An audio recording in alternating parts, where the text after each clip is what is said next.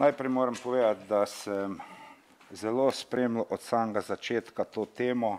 Kot sam veš, sem ti tudi javil tisti datum, uro, da je Martin razrešen in da bi bilo treba sklicati izredno sejo.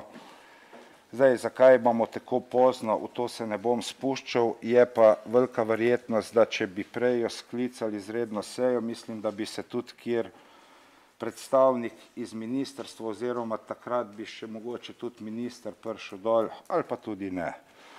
Ampak pravzaprav sem to tudi že govoril v Ljubljani takrat decembra meseca, ko so začeli govoriti, da je treba menjati eh, našega direktorja, gospoda Martina. Jaz sem jim velikokrat povedal gor, ne segajte v kačje gnezdo. Ker predvsem ne pa pošiljati v Krško kakšnih brezveznežev, ker tega Krčani ne bomo dopustili. V preteklosti smo take igre nekajkrat že preprečili, zdaj pa se je to zgodilo, žal tudi, ne morem drugače reči, kot s pomočjo domačih izdajalcev. Glejte, tudi jaz nisem bil z vsem zadovoljen. Čeprav se z Martinom, Danielom, pa ne nazadnje tudi s Tanetom dobro razumem. Kot sem že povedal, je tudi na njih, tako kot na vodstvo občine, del odgovornosti, da niso rešena nekatera vprašanja v zvezi z nuklearko. Oni kot strokovnjaki niso bili dovolj odločni do države, ko je šlo za vprašanje odlagališča in odnosov s Hrvaško, naj, najbrž se bojijo, ker so Hrvati solastniki, a jaz pravim elektrarna in vse, kar je poleg elektrarne, je na naših tleh, je v naši soseščini. Država pa ne le, da ne bi uredila teh zadev, še jemljajo nam vrsto stvari, ki bi kot občina s takšnimi objekti morala nujno imeti. Pri tem mislim na policijsko upravo, center za obveščanje, zdravstveno urgenco in še kaj. O tem bom danes še takoj po tej seji spet govoril v Ljubljani na seji državnega zbora, ki pravkar zaseda in imam najavljeno razpravo. Med drugim bom ministra za obrambo povprašal, kako je glede na trenutne vojne razmere v Evropi za varnostno objektov nuklearke. Še posebno, ko nekaj deset kilometrov stran padajo z neba šestonski neznani leteči predmeti. Vprašal bom, kaj bo, če tak predmet pade, ne na kontejner, ampak na stikališče, na transformatorje, na druge pomožne stavbe.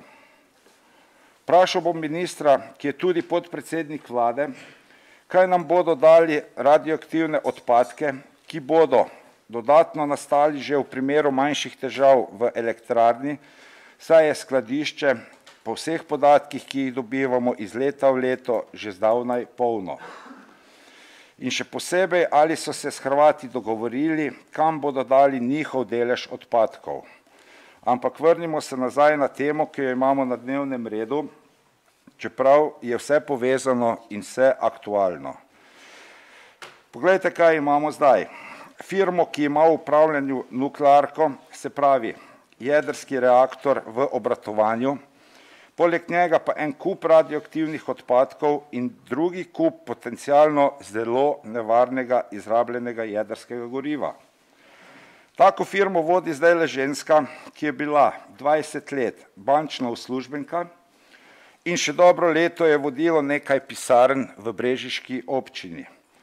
To imamo na mesto izkušenega jedrskega strokovnjaka, ki je veliko let delal v komandni sobi, se pravi, da je upravljal nuklearko, človek, ki je leta 2000 vodil zamenjavo uparjalnikov, ki so eni najbolj vitalnih delov nuklearke. Seveda, nič imam proti ženskam, nasprotno. Še zadovoljen bi bil, če bi na tem mestu imeli kakšno usposobljeno osebo. In zelo verjetno je, da bo to bančno uslužbenko kmalo, ko se bodo v Ljubljani končno zlizali, nadomestil kak pravnik ali pa zdravnik. Da ne razumemo, nihče ni nenadomestljiv, ampak delati take igrice, ko gre za to tako pomembno podjetje, to je pa res preveč. Veste, kaj se mi zdi? Mislim, da imamo opraviti strašnim pohlepom, ki nam nima meje. Mislim, da se nekaterim Ljubljani ob omembi gen energije prikazuje projekt drugega reaktorja in ogromen kup denarja. Pri tem pa niti ne pomislijo ali sploh ne vejo, s čim imajo opravka. Ne bi se čudil, če bi se lotili tudi same nuklearke, če jim bi to zagotavljalo, da bi lažje prišli do denarja za svoje mutne posle. Kolegice in kolegi, krčanke in krčani, nekaj kilometrov od tu je v obratovanju jedrska, atomska elektrarna, zato tega ne smemo dopustiti. Proti takemu početju moramo zelo glasno protestirati. To je preprosto podcenjevanje naših občanov in nas vseh, predvsem pa hudo nevarno igračkanje, ki nas lahko veliko stane. Predlagam, da jasno povemo vsaj to, da drugega reaktorja v Krškem ne bo, če se bo oblast takšna ali drugačna tako igrala z nami. Pa še nekaj bi rad povedal, kar sem malo prej omenil že na začetku.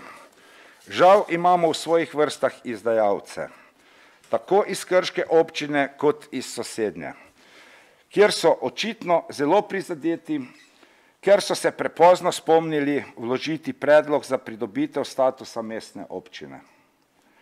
Zdaj pa naenkrat nekateri, predvsem pa gospa, ki je pripravljala njihove postopke, močno je užaljena, ker je nam, krčanom, to uspelo.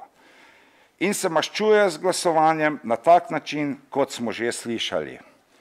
Kot sem že povedal, gre za preveč resne težave župan, da bi se šli take igrice.